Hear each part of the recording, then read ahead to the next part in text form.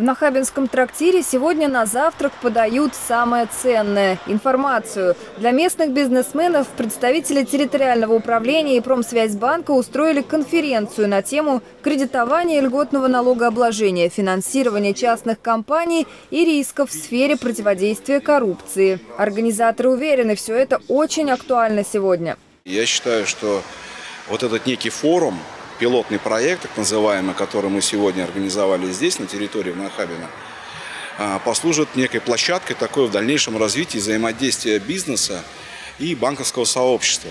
В Нахабино сегодня работают около 300 предпринимателей малой и средней руки. 30 из них посетили мероприятие, в том числе те, кто занимается обработкой камня, открыл салон красоты или перевозит пассажиров. Всегда есть смысл расширяться, всегда есть желание расширяться. Да? Ну, перевозки – это такая структуру, где всегда кому-то что-то не хватает. Ну, поэтому пришли здесь послушать. В рамках конференции была развернута мобильная выставка «Бизнес в объективе». Она курсирует по всей России, от Калининграда до Владивостока и демонстрирует многообразие бизнеса, с которым сотрудничает банк.